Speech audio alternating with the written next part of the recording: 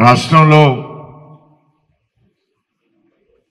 వ్యవసాయం ఆధారిత రాష్ట్రం మన రాష్ట్రం.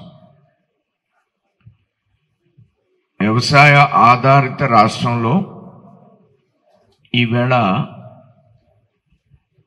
రైతుల యొక్క బాధలు వర్ణనాతీతం. విజయనగరం పార్వతీపురం లాంటి జిల్లాల్లో రైతులు ఇంకా కూడా ప్రభుత్వంలో ఉన్నటువంటి అధికారులు ప్రభుత్వంలో ఉన్నటువంటి కొంతమంది పెద్దలు వెన్నెముకని విరగొట్టేటువంటి పరిస్థితి. ఈ ముగ్గురు ఏకమై రైతాంగానికి గిట్టుబాటు ధర ఇవ్వకుండా ధాన్యాన్ని కొనుగోలు చేయకుండా విధానపరమైనటువంటి ఆలోచనతో ఉంచితే తెగనమ్ముతారు ఎంతో కొంత రేటుకి అనేటువంటి ఉద్దేశంతో ఈవేళ ప్రభుత్వం యొక్క ఆలోచనతో రైతు సతమతమైపోతున్నాడు. అలానే కేంద్ర ప్రభుత్వం ఇరవై పథకాలను రైతులకి ప్రతి బడ్జెట్లోనూ నిధులను అలికేట్ చేస్తుంది. కృషి సంచాయ్ యోజన దగ్గర నుంచి వినియోగించుకునేటువంటి పరిస్థితి ఉంది. సోలార్ మోటార్స్ లేవు. అలానే డ్రిప్ ఇరిగేషన్ లేదు.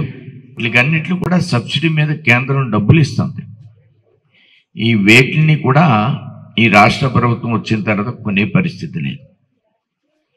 రైతుకు ధాన్యం గిట్టుబాటు ధర ఇవ్వకుండా సరైన సరసమైనటువంటి రేటు కొనకుండా సరైన సమయంలో కొనకుండా రేటు తగ్గించి అమ్మే పరిస్థితి వస్తే సివిల్ సప్లై డిపార్ట్మెంట్ ఏం చేస్తుంది? యంత్రాంగం ఏం చేస్తుంది? సివిల్ సప్లై మంత్రి ఏం చేస్తున్నాడు అసలు? భారతీయ జనతా పార్టీ రైతాంగం మీద నిరంతరం కూడా పోరాటం చేస్తుంది. రాబో లేఖ రాయడం జరిగింది.